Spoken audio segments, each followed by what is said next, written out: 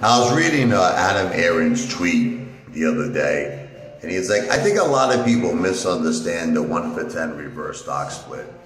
It's like you think that we're stealing 90% of your shares.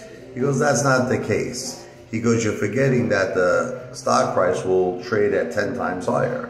So he goes, an example, if a stock price was a dollar, it's going to go to $10. He goes, you, you know, you, you got the same amount of money, uh, blah, blah, blah, all this stuff, okay. But there's something that this Mama Luke Stunad doesn't understand. Stock market is corrupt. Stock market is rigged. Okay, how do we know Antara, which has uh, already proven itself to short AMC, right? How do we know they're not going to do it again? I'm going to say it's allegedly because I can't prove it. But how do we know that short sellers are not going to short this to the oblivion? So in other words, if I have 10,000 shares of AMC, now I got 1,000 shares.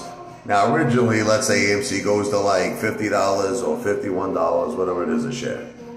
Okay, but what happens then if Antara and all these short sellers short us to the oblivion and it goes all the way back down to $5 a share, right? Well, now I no longer have 10,000 shares, you freaking mother effer.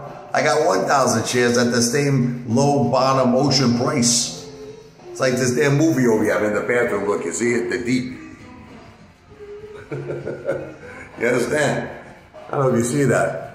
So that's what Adam Aron, this stupid friggin' moron, doesn't understand is that in theory, yeah, if AMC's price stays at 51 and goes higher, then you're making an excellent point. But if this gets short to the oblivion, Bye buy shares. Video is not financial advice. I'm not a financial planner. This video is for entertainment purposes only.